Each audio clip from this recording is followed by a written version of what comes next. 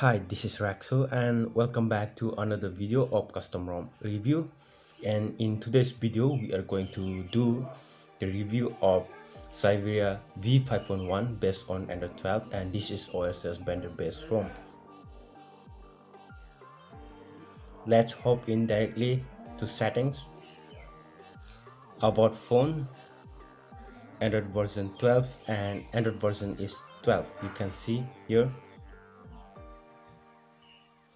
Syberia v5.1 latest security patch 5th December 2021 and the kernel is Soviet Star. Right. This is the latest build from Syberia. And you have the customization here in, in Syberia settings for your systems panels status bar notification navigation bar. You have gesture double tap to sleep. Double tap anywhere on the lock screen to put phone to sleep right? You have three finger screenshot gesture here. And this is working. Double tap to sleep on the status bar to put the device to sleep.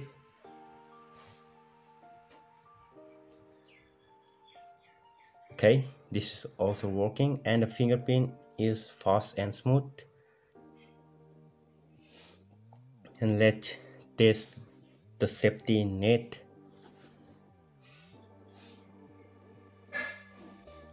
You get safety net pass with default. You don't have to install any Magisk module.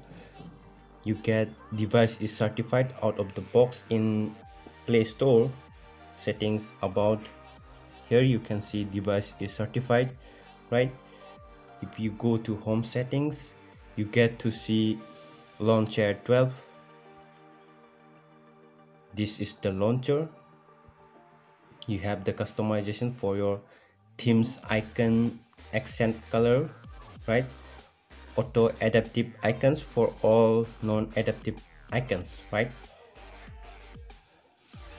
And if you go to quick settings panel you get to see anti-flicker mode reading mode and you have AOD of CPU info right? Caffeine these are the tiles these are the tiles you get in this quick setting panels. And let's see the battery usage.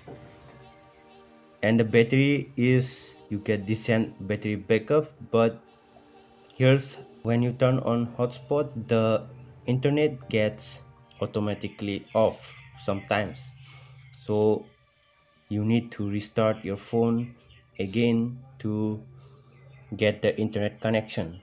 So the, these are the some bugs. And when you play and i was watching some anime in chrome and after some time my phone temperature battery temperature gets up to 38 percent and and the CPU goes up to 61% and that is quite high temperature right?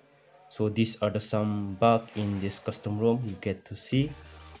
And if you talk about the performance Syberia will never disappoint you right? Let's see the Geekbench score. History and here you get to see single score 722 and the multi-score is 2680 right? And let's see the Antutu benchmark. And here is the score 572550 right? Battery consumed 12% and the temperature went up to 6.3 degree right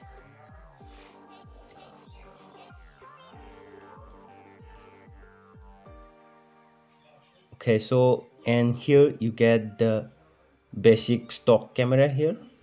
You don't have that option but you can install gcam like me. Here these gcams are working fine. You can get this in K20 Pro photography group right